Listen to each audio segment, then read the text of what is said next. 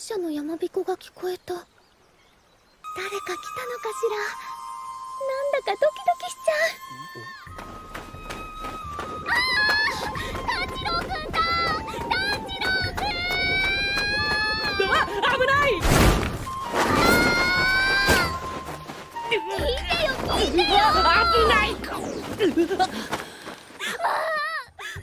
ねずこちゃんねずこちゃん。私ねおにぎり見てたらねまたお腹空いてきちゃったの。みんなには内緒よ。うん。甘露寺さん。はなぜ鬼殺隊に入ったん。ですか添い遂げる殿方を見つけるためなの炭治郎くん。今度また生きて会えるかわからないけど頑張りましょうね甘露寺みつりはかまど兄弟を応援してるよでもまだまだです俺は。宇髄さんに勝たせてもらっただけですから。もっともっと頑張ります。